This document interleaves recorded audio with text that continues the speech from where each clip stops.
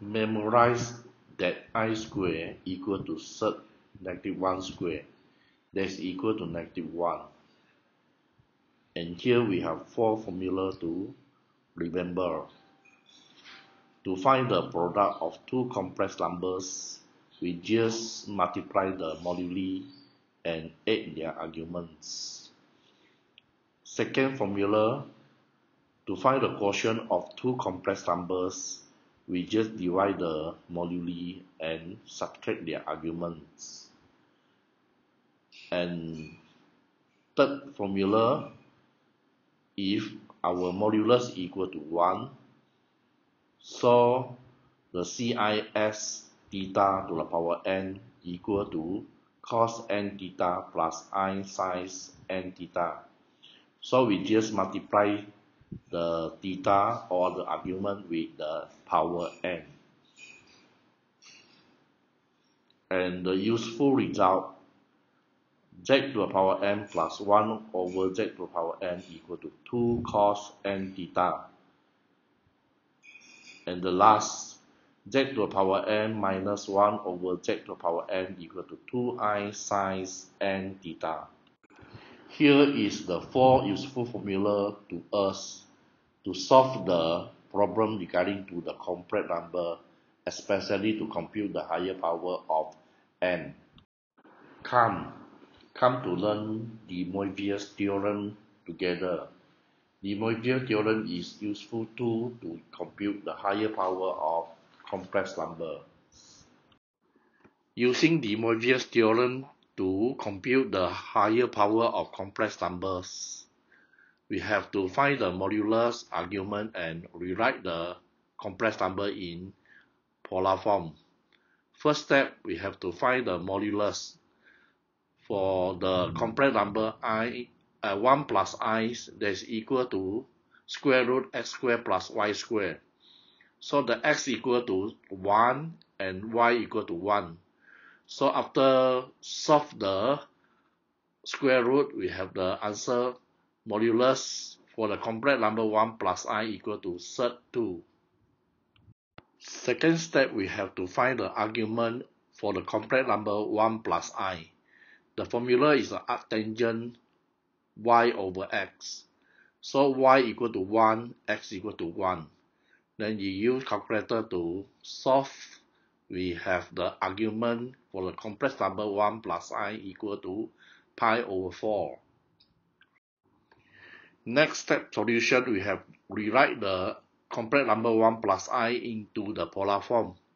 So that is equal to set 2 cos pi over 4 plus i sine pi over 4. So request us to find the complex number 1 plus i to the power 3. So the polar form to the power 3.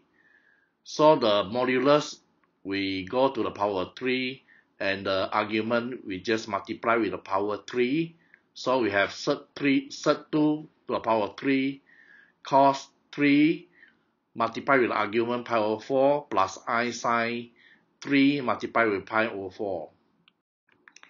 Then we use calculator to find the cos 3 pi over 4. So we get negative set 2 over 2. And for sine 3 pi over 4, we have set 2 over 2. So we simplify it, we get the answer negative 2 plus 2i. So using de Moivre's theorem to compute the higher power of complex number is more easier compared to use the binomial expansion. Example 1. Find the modulus and argument of complex number 1 plus i to the power 7 over complex number 1 minus i to the power of 9. We have shown the working solution for finding the modulus argument for the complex number 1 plus i and show it into the polar form. So the answer is modulus for the complex number 1 plus i equal to set 2 and the argument for complex number 1 plus i is equal to pi over 4. So write into the polar form is set 2 multiply with cos pi over 4 plus i sine pi over 4.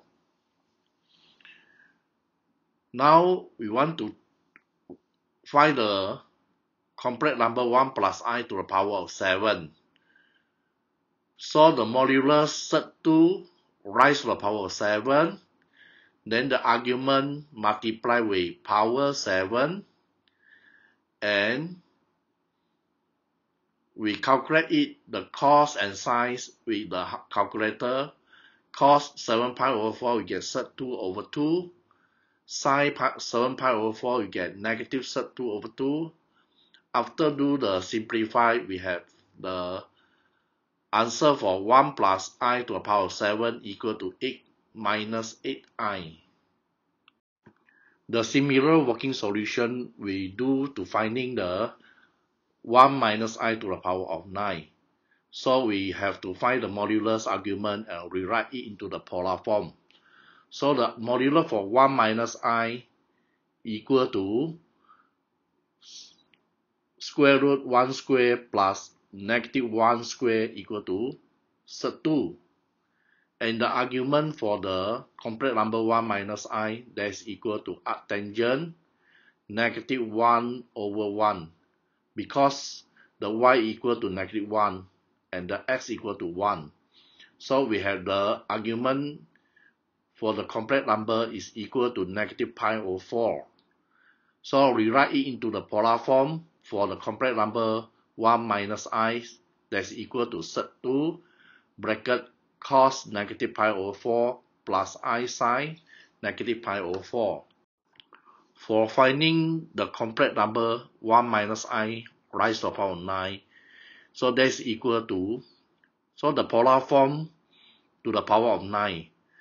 So the modulus set to raised to the power of 9 cos negative 9 pi over 4 because the argument multiply with 9 plus i sine negative pi over 4. Then using the calculate, calculator to solve the cos and the sines, we get cos negative 9 pi over 4 equal to sec 2 over 2, and the sines negative 9 pi over 4 equal to negative sec 2 over 2. Then we do simplify, then we get the answer for 1 minus i raised to the power 9 equal to 16 minus 16i. For finding the quotient of two complex numbers, we just divided the moduli and subtract the argument.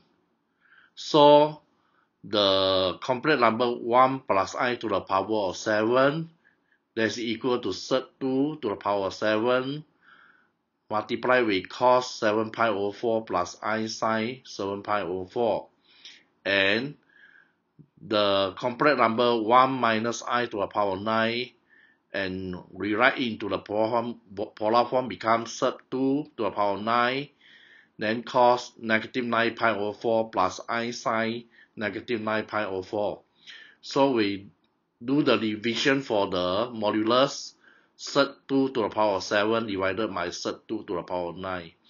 So we do it and simplify. So you get the answer 1 over 2. Then we do the subtraction to the argument. So the 7 pi over 4 minus bracket minus 9 pi over 4. So finally we have 4 pi. So the quotient of the complex number 1 plus i to the power 7 divided by 1 minus i to the power 9 equal to 1 over 2 cos 4 pi plus i sine 4 pi. The modulus equal to 1 over 2 and the argument equal to 4 pi. But according to the principal argument, the 4 pi that's equal to 0, 0 radian.